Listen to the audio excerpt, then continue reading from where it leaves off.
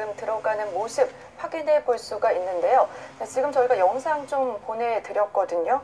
뭐 일각에서는 이런 얘기도 좀 나오더라고요. 김호중법이 생긴다고 하더라도 정작 이제 김호중 씨에게는 적용이 되지 않을 수도 있다. 그렇죠. 이런 얘기도 나오더라고요. 왜냐하면 일단은 대검에서 이렇게 이틀 만이고 아무래도 이번에 이제 경찰 쪽에서도 뭐 들어갈 때는 아무런 얘기를 하지 않았지만 나올 때는 또 어떤 입장을 내놓을지는 모르는 상황이잖아요. 좀 어떻게 흘러갈 거라고 예상하십니까? 일단은 본인이 어, 지금은 조사 받기 전의 상황이기 때문에 취재진들이 피해서 이제 저렇게 지하를 통해 이제 출석을 했지만 만약에 수사 이제 조사를 받으면서 본인이 어떠한 진술을 하고 이것이 수사기관이 어떻게 받아들여질지 이런 것들을 좀 고민을 할 거예요. 옆에 이제 변호인의 조력도 받을 것이고요. 네. 그렇다라면 이제 나와서 본인이 어쨌든 뭐 어, 남들 다 하는 그런 이야기라고 하더라도 입장 표명을 할 가능성은 좀 열려 있다라고 보이고요. 왜냐하면 일각에서는 김호중 씨가 본인의 팬카페에 입장을 남김으로써 마치 막 국민들이 이렇게 다 관심을 갖고 있는 사안에 대해서 팬들에게만 이렇게 비공개적으로 나 다시 돌아오겠다라고 입장 표명하는 것에 대해서도 조금의 비난 여론이 있었던 건 사실이거든요. 네. 그렇기 때문에 사실은 본인의 뭐 범죄를 인정한다라든지 뉘우친다라든지 이런 또 메시지가 한 번쯤은 좀 나와야 될 필요성이 있다라는 생각도 듭니다. 예. 왜냐하면 수사기관에서 일단은 어, 출국 금지도 지금 신청을 한 상황이고 어, 주요하게는 소속사 대표와 그리고 매니저, 본부장이라고 일컬어지는 사람, 이렇게 그리고 김호중 씨까지 하면 모두 이제 네 명에 대해서 사실 출국 금지 신청이 된 것이고요. 어, 그리고 이 네 명이 각자의 좀 역할이라고 할까요? 한 행동들이 다 있습니다. 그런 어떠한 혐의점이 있기 때문에 수사기관에서도 출국 금지를 한 것이고 일단은 정리를 해서 말씀을 드리자면 대표의 경우에는 네. 주요하게 범인 도피 교사라든지 증거인멸 교사가 문제가 될 수 있겠고요. 그리고 직접 이렇게 자- 어, 허위 자수를 한 경찰에 출석한 매니저의 경우에는 범인 도피죄 문제가 있을 수가 있겠고 블랙박스 칩에 이제 훼손한 사람의 경우 증거 인멸죄 성립할 수 있겠고요. 더불어서 하나의 의혹이기는 하지만 이 김호중 씨가 바로 이 사건 이후에 자택으로 가지 않고 구리의 호텔로 이동을 했을 때그 매니저 운전대를 잡은 매니저 역시도 음주 상황이었다라는 또 일각의 의혹도 있습니다. 네. 이 부분도 수사기관이 들여다볼 것으로 보이고요. 일단은 김호중 씨에게 가장 성립할 수 있는 확실한 범죄 행위는 사고 미조치와 그리고 도주 치상 이것은 100% 확실하다라고 보겠고요. 나머지 혐의들에 대해서 이제 입증이 필요하기 때문에 네. 조사 중인 것입니다. 알겠지만 뭐 입장을 밝히는데 서두르는 모습이 일각에서 보기에는 조사가 뺐을 때 마치 본인이 이제 어, 결백하다라는 것을 주장하기 위해서 어, 나 자주 출석해서 조사 받겠다라고 이야기를 하는 경우도 있고요.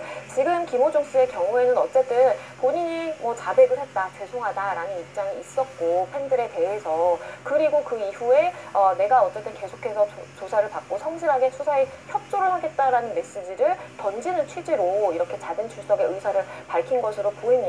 일단 이 김호중 씨를 대리하는 변호인이 어, 본인들은 사실은 더 빨리 출석을 하고 싶었는데 경찰 측의 일정 조율로 인해서 어, 아직 출석이 확정되지 않고 있다라는 입장이 사실 어제 나왔거든요. 네. 그런데 이렇게 빨리 어쨌든 출석을 할 수 있었던 것은 어, 김호중 씨 측에서 계속해서 출석을 하고 싶다라는 이야기를 어, 경찰에 전달을 했을 가능성이 있고요. 경찰 입장에서도 말씀드린 것처럼 이미 증거물이 굉장히 많이 확보가 됐고 어떠한 뭐 분석이 굉장히 어려운 그러한 이제 증거들은 지금 없는 상황이기 때문에 그리고 관련 뭐 녹취라든지 충분히 증거가 수집된 상황에서는 한 번쯤 좀 불러도 되겠다 네. 이야기를 들어볼 만하다 라고 생각했을 가능성이 있습니다. 예, 저희 말씀드리는 와중에 지금 이제 지하 주차장 내부 모습인데요. 조금 전 김호중 씨가 지하 주차장 입구를 통해서 들어왔고요. 들어온 뒤에 내부 모습입니다. 자, 화면 중앙 뒤쪽에 보이는 SUV 차량으로 확인이 되고요.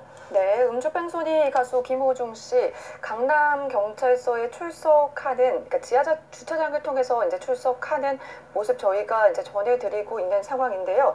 언론을 피해서 지하 주차장을 이용한 것으로 확인이 되는 상황입니다. 네, 김호중 씨가 차량을 이용해서 강남 경찰서 지하 주차장 입구 쪽에서 들어가면서 찍힌 모습인 것으로 확인이 되고 있는데요.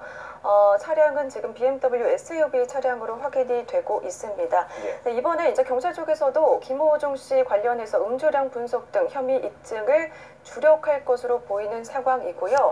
김호중 씨 등 4명과 관련해서는 출국 금지가 지금 현재 내려진 상황입니다.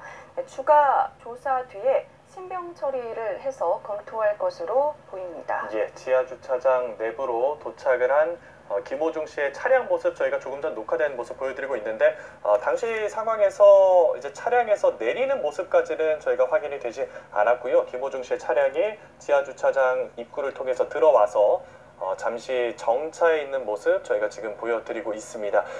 아, 강남 경찰서에 입장을 했습니다. 네, 예, 라고 이제 보이지는 않고요. 네. 다만 누가 누구에게 지시를 했고 그것에 따라서 어떻게 이루어지는지에 대한 이런 객관적인 증거가 사실 필요한 것입니다. 객관적인 증거라는 것은 물론 지시를 했다라면 그러한 내용이 담긴 뭐 메시지라든지 아니면 녹취가 있으면 가장 좋겠지만 그게 아니더라도 관련 당사자들의 말을 취합해서 들어봤을 때 진술이 일치하고 누가 누구에게 지시했다, 아 내가 그랬다, 뭐 이런 이야기들이 사실 일치한다면 그 진술의 신빙성이 높기 때문에 그대로 인 정될 수 있거든요. 네. 그렇기 때문에 일단은 출국 금지됐고 어떻게 뭐 어, 도주의 우려는 지금 없는 상황이라고 수사기관은 판단을 하고 있기 때문에 어, 구속영장이 신청될지 여부는 좀 지켜봐야 되겠지만 네. 일단은 어, 김호중 씨의 경우에는 본인이 지금 음주를 했다라는 것을 인정하기 때문에 그럼 얼마나 마셨는지 음. 그때 당시 얼마나 이제 취한 상태였는지 이런 부분에 대해서 집중 추궁을 오늘 당할 가능성이 높습니다. 네.